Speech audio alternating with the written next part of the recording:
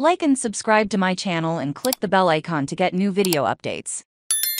76ers rumors, Fred VanVleet unlikely to be pursued if James Harden leaves the FA, the Philadelphia 76ers, are reportedly not expected to be looking for guard Fred VanVleet for free agency, even if James Harden signs elsewhere. According to Yahoo Sports' Jake Fisher, there was some speculation that Philly would target VanVleet, since Nick is the new head coach of the Sixers Nurse has spent five seasons as VanVleet's head coach with the Toronto Raptors, but that reportedly won't be the case. VanVleet is said to have resigned this week to become a free agent, and it is widely expected that Harden will do the same. The 29-year-old VanVleet joined the NBA as an undrafted free agent from Wichita State in 2016 and has since spent his entire seven-year career in Toronto. FVV's best season to date was 2021-22, when he averaged a career completed high 20.3 points, 4.4 rebounds and 3.7 three-pointers made plus 6.7 assists and 1.7 steals. En route to his first All-Star selections, VanVleet's numbers went down slightly last season,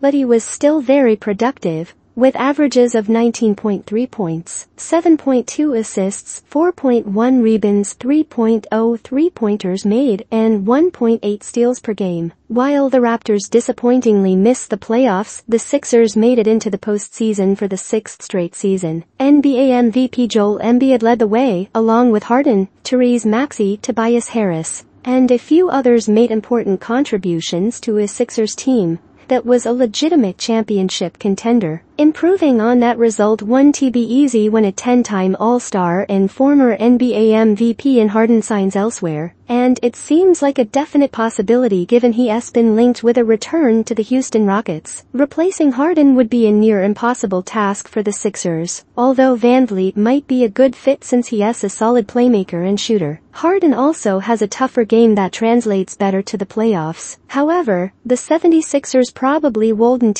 have the funds to sign VanVleet unless he took a big discount or agreed to a sign and trade deal with the Raptors.